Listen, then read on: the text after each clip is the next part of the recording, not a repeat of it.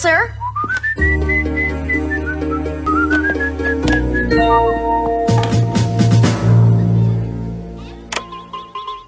Good afternoon. This is the radio news. Our top story. Spiro T. Agnew Middle School has just been named the world's most dangerous place on earth. What? Here's our experts to tell you why Spiro T. Agnew was more dangerous than any other place except for maybe inside lava. Hi, I'm a scientist, and I'm a fearless adventurer. I gotta say, Spiro T. Agnew School gives me the willies. It's got ghosts and stuff.